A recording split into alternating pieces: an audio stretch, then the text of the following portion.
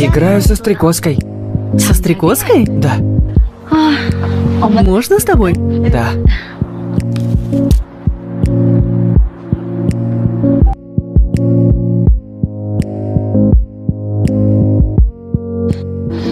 Отрезал кролику уши. Его левая лобная доля, контролирующая эмоции, заметно меньше нормы.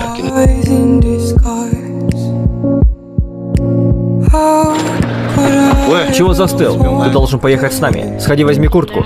Мне завтра в школу. Поехали.